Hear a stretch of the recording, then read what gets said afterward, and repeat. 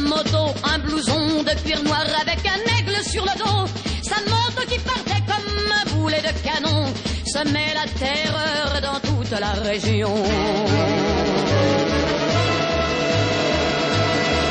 Jamais il ne se coiffait, jamais il ne se lavait, les ongles pleins de cambouis, mais sur le biceps il avait un tatouage et juste à l'intérieur, on lisait Maman, je t'aime.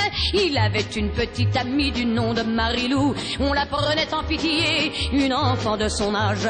Car tout le monde savait bien qu'il aimait entre tout sa chienne de moto bien davantage. Il portait des culottes, des bottes de moto, un blouson de cuir noir avec un aigle sur le dos. Sa moto qui partait comme un boulet de canon semait la terreur toute la région.